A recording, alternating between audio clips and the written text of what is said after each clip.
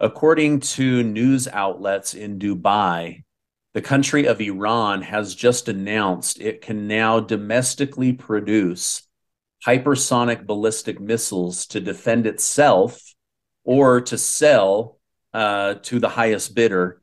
Uh, do you do you think with everything going on with Saudi Arabia pulling back from the United States, Iran deepening its ties with with Putin and Russia, uh, with bad blood towards the United States, does this uh, capability of domestically producing a hypersonic ballistic missile does this pose uh, a problem for the United States or or for the world?